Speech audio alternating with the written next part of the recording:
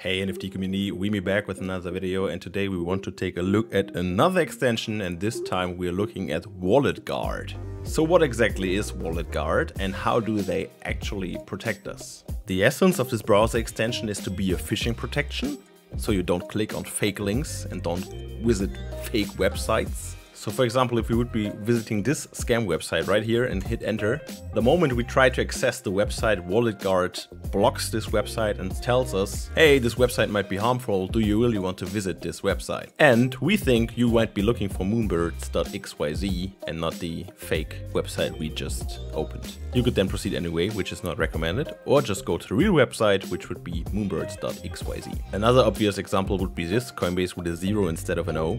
Nice dark mode wallet. So blocking the fake links is the essence of this app, right? But we got more. We also got a security dashboard in here. If you click on the app in the upper right and then click on my dashboard, you will then see a security checklist, which is in beta right now, which means it's free right now, but will probably not stay free forever. So I think there will be a premium version of Wallet Guard somewhere someday. But here we can check, for example, that we got our MetaMask updated to the latest version. If we did not have the latest version, Wallet Guard security checklist would tell us right now that we, we probably need to update the MetaMask extension, for example.